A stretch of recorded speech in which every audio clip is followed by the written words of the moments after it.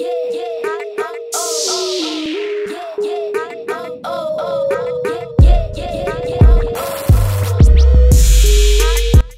दोस्तों, मैं आप देख रहे हो क्रेजी आज के वीडियो में आपको बताऊँगा एक सीपीयू बिल्ड करके, जो कि ना हम बोल सकते हैं रीबिल्ड क्योंकि यहाँ पे मैं जो सीपीयू को यूज़ करने वाला हूँ, वो है मेरा बहुत पुराना एक पीसी था जब मैंने 2013 में अपना पहला कंप्यूटर खरीदा था। उस वक्त का सीपीयू है, लेकिन उसमें जंग लग गया था, सारे पार्ट्स खराब हो गए थे। लेकिन आज मैं उसको ही रिकंस्ट्रक्शन करके आपको बताऊँगा कलर वलर चढ़ा के। तो चलिए जल्दी से देख लेते